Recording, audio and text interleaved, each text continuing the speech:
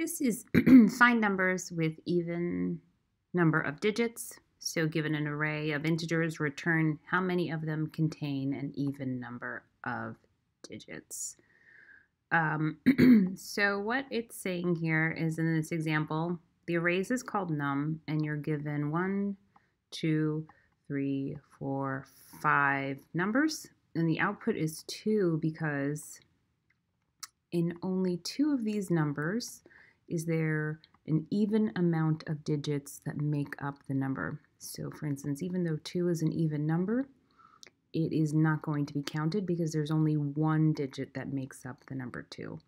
So 12 and 7,896 are going to be counted because they have an even amount of numbers, 12 having two digits and 7,896 having four digits. Okay, um, so the plan for this problem is to, you're going to return an integer. So we're going to return a count um, that we keep track of. Um, going to iterate by looking at each number in the nums array, find the length of the integer.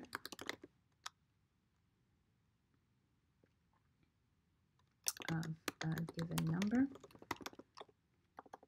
count it if it is an even amount of digits. Okay, um, so let's first make what we're returning here. We're saying int, I'm going to call it count. I'm going to start at zero, and then at the end, we're going to return our count. Um, so let's iterate by looking at each number in the array. And to iterate, I'm going to just say for each int i in the in nums, Um, another way of iterating through, which is totally valid, it's a little more verbose, is for int i, it starts at 0, i less than uh, nums length, um, i plus plus. Uh, that's just another way of doing it, um, but I like using this second method when I can because it's much more succinct. Um, so for each and i, we have to find the length of this i. And finding the length of an integer is not built into the Java library. So um, what I want to do is first um, we can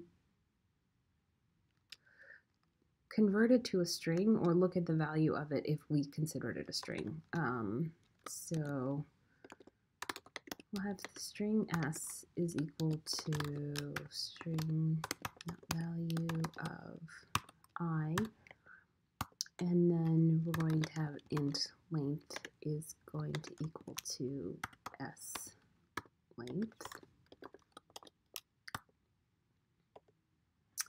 And um, so now we have our length, and we have to say if this length is even, um, add one to count variable. Okay, um, so I use the, the uh, best way to do this is to use the modulo operator, and um, the modulo operator tells you if there's a remainder after uh, division. So if I, uh, um, so if length is divided by 2 and there is no remainder left, we are going to increase our count by 1. And this here is just going through the loop, and then if we get through this, we should be able to return it here. Let's try running the code.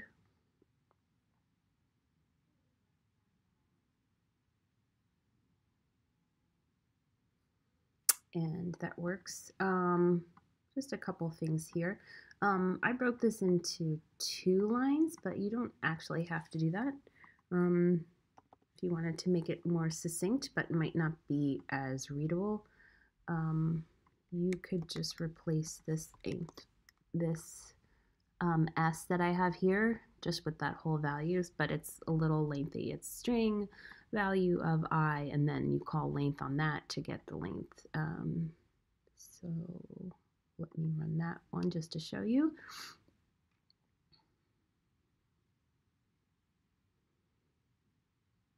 And that gives you the same. And another thing that I find helpful is that sometimes um, system out uh, print line.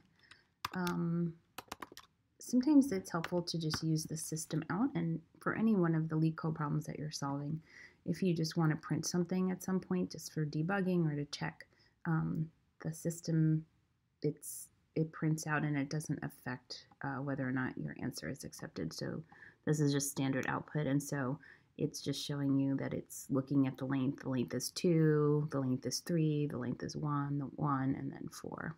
Um, so,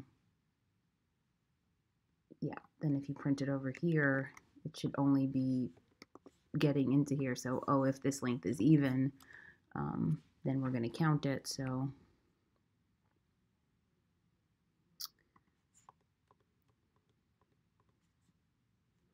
So see in here, it only prints out the 2 and the 4, and the output is 2.